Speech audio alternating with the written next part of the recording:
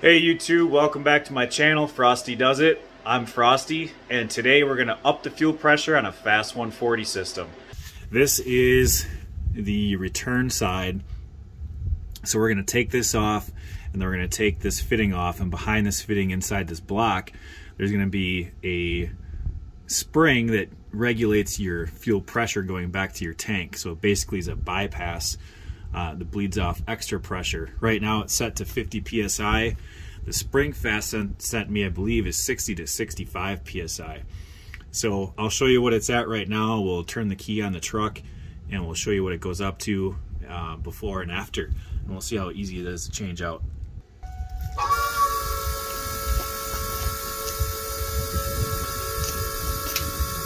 It looks like 42, 44, 46 maybe. I think the 7.3s are closer to 65 from the factory. I've heard anywhere from 40 to 65. So let's replace that spring and see what we can get it up to.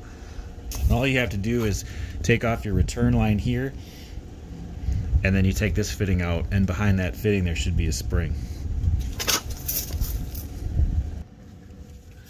All right, my lines I believe are 22 millimeter.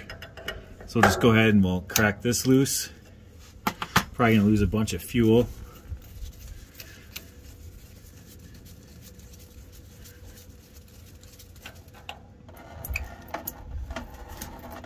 It's actually a lot less than I thought we would. Then we'll take this filter off so we can get to that a little bit easier.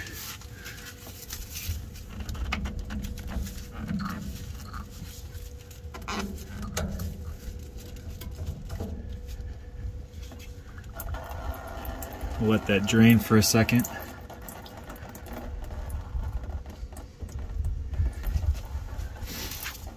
That actually should be enough.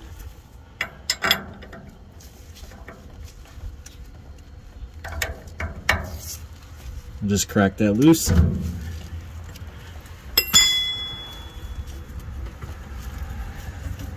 Then behind this, there should be a spring.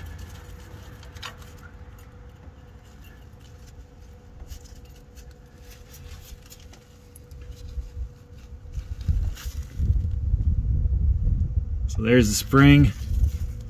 There's your fitting. That spring is supposed to sit down inside of it like that. So FASS sent me a new return fitting and then also a new spring. Alright, here's the new kit that FASS sent out. It's PS-1013 MRT1004. I think the PS is the spring and the MRT is the fitting. this is um, supposed to take the 7.3 and the 6 liter kits up to 60 or 65 psi. They had them set at 50, and I think they were getting a lot of complaints with people's regulated returns where these actually come in the new pumps now. My pump is six months old, and I must have missed that. So this is the part number we're going to put in it. Okay, we'll first throw this spring in.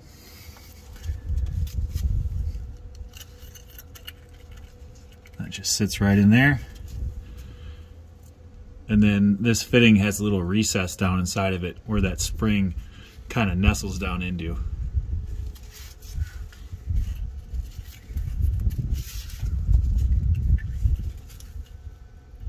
Go ahead and line that spring up in there just turn it back on.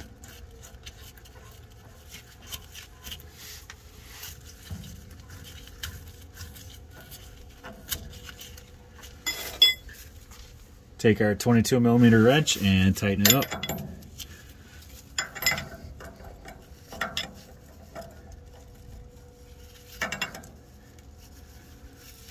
Actually feels a little tight for a 22. It's probably standard. Let me go grab a different wrench. Okay, I just went and grabbed a 7 8 wrench. That seems like it fits a little better. I think that's snugged up.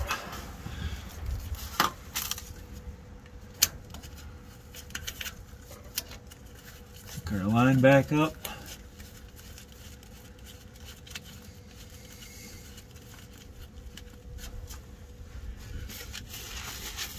I picked a great day to do this. It's maybe 10 degrees outside.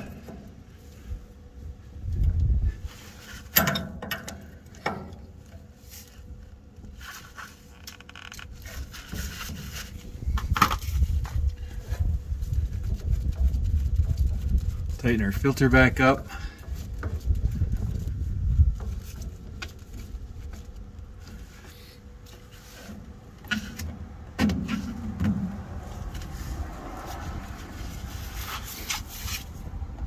And I'll go inside and bump the key and we'll see if we get any more fuel pressure out of it. Hoping to see over 60.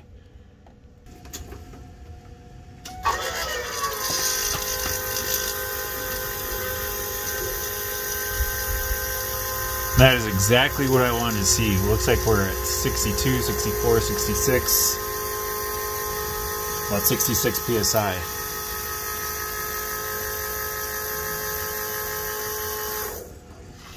That's awesome. That was super easy. All right, so I'm gonna set you guys up and we'll start the truck and we'll see how she likes the new fuel pressure. That literally took two minutes. Um, very, very easy to do. But let's set you up in the tripod and see what happens.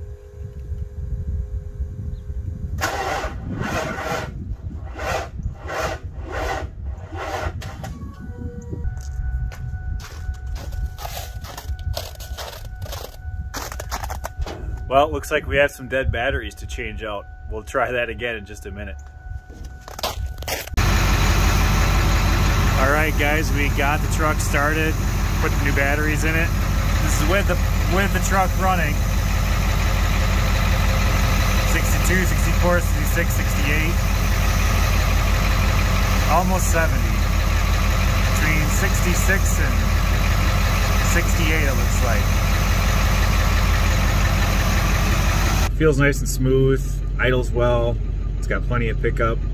Um, it's pretty cold outside, so I didn't beat on it too hard. Everything's really cold. The fuel is probably um, a little bit thick, so it looks like our fuel pressure before was at 50, and now it's looking at 55, 60, 65, maybe 67 PSI.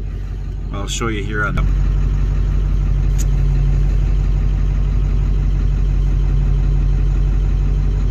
So 67 PSI. And then the gauge on the filter housing itself is pretty much within a PSI or two of this one. But overall, I'm real happy with it. Literally took, I don't know, two minutes. If I wasn't filming, I probably could have had it done in, in a minute or so. You grab the right wrenches, pop your line off, uh, take the fitting off, change the spring, put the fitting back on, tighten everything back up, and you're done. It's very easy. If you guys like this video and want to see more, especially on this truck, uh, I've got a couple other projects as well, but the F550 uh, has been a, a, huge project. I've worked on this thing uh, for several years now, and I still have a lot of work left to do to it. But if you would like and subscribe, I'd really appreciate it. Uh, it helps me keep hitting that record button. So thank you for watching, and we'll see you guys next time.